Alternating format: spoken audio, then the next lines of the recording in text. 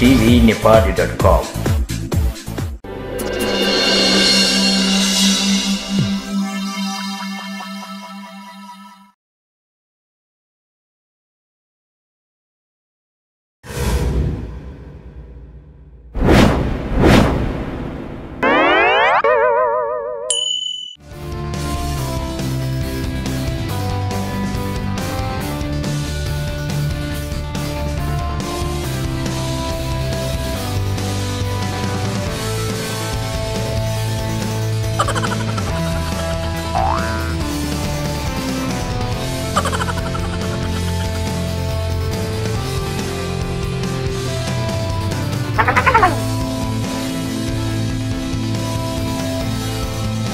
होइन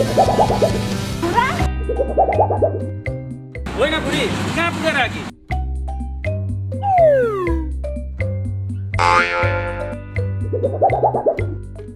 होइन पाँच सौको नोट पनि हातमा छ।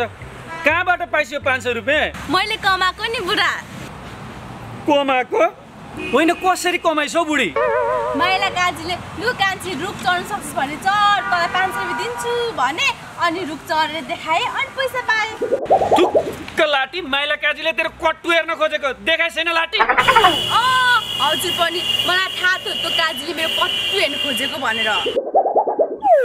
म पनि त्यति लाटी कहाँ छु र? कट्टु नलाइकन जामा मात्रै लाएर रुख चढेँ।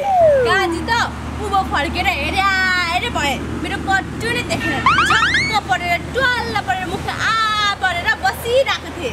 कति बाटी छ मेरो बुढी। कट्टु नै नलाई पाँच सौ